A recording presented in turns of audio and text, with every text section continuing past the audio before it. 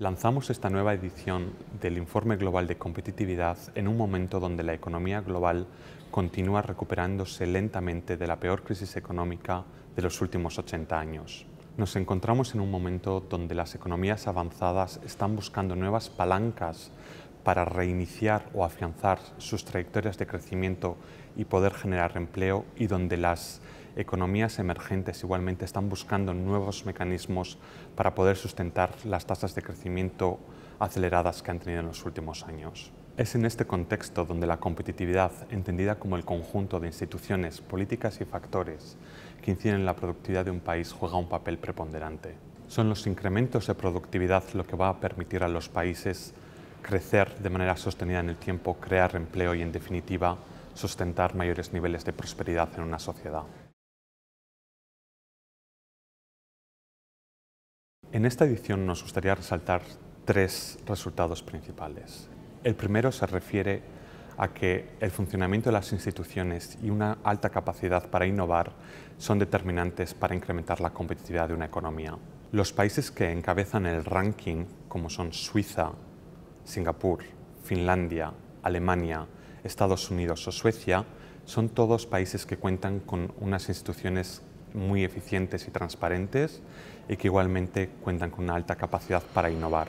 Es decir, pueden generar un alto volumen de ideas que finalmente son trasladadas al mercado de manera eficiente y rápida. En segundo lugar, lo que observamos es que muchas de las urgencias económicas que han copado la atención de los políticos en los últimos años, como es el riesgo de ruptura del euro, la crisis de la deuda soberana en muchos de los países de la Europa meridional o el barranco fiscal en Estados Unidos, se han mitigado. Esto va a permitir que las economías puedan centrarse en resolver los problemas estructurales de los que acadecen y que están incidiendo en sus bajos niveles de competitividad. Finalmente, y muy relacionado con la necesidad de implementar reformas estructurales, lo que hemos visto es que estas reformas deben ser un esfuerzo compartido entre los distintos agentes de una sociedad.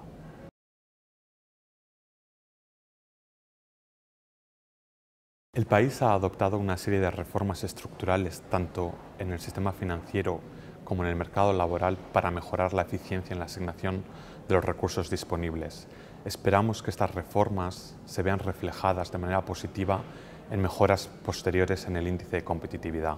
Sin embargo, el acceso a la financiación continúa como la mayor traba para el desarrollo de la actividad económica en el país.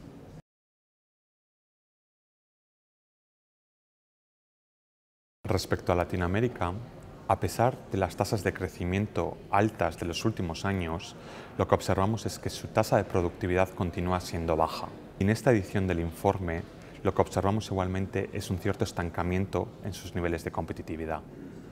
Chile, en el puesto 34, sigue encabezando el ranking regional delante de Panamá en el puesto 40, Costa Rica en el puesto 54 o México en el puesto 55. Todos estos países han tenido resultados similares a los de la última edición, sin que exista un gran avance en términos de competitividad. Finalmente, Brasil, como la economía más importante de la región, ha caído ocho puestos hasta la posición 56. La razón para este estancamiento en la competitividad de la región se debe principalmente a que muchos de los países no han sido capaces de hacer frente a los retos competitivos a los que se enfrentan. Debilidades en el marco institucional, en el funcionamiento de los mercados en muchas ocasiones y en la calidad de las infraestructuras están mermando esta capacidad competitiva de la región.